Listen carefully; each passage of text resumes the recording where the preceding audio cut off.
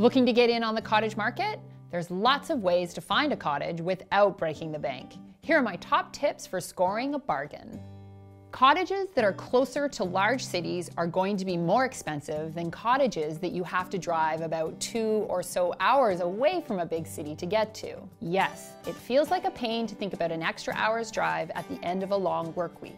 However, it may mean significant savings on your cottage property.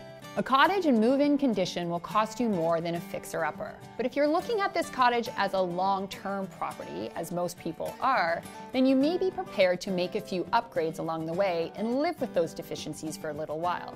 You're only there on the weekends anyway.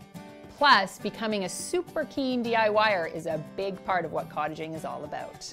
You will pay less for a water access cottage, one in which you have to take a boat to get there, than you will for a road access cottage.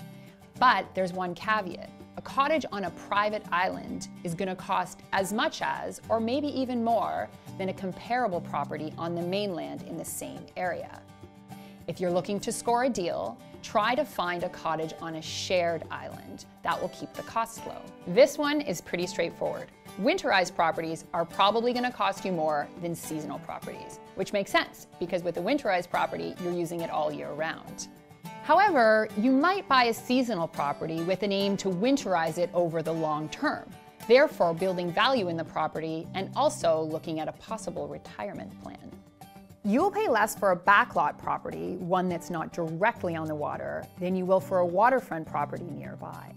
When you're buying a backlot property, be sure to find one that includes deeded access to the water or is close to a public launch. Lastly, consider alternate arrangements. For example, you may decide to share a cottage with friends or family. This can be a great way to cut your costs in half or even more. However, if you go this route, you must be sure to set up a formal sharing agreement. That agreement should cover everything from who pays the property taxes, who takes care of the septic system, and even little things like who puts the beer in the fridge at the end of the long weekend. Although I'm not quite sure that's a little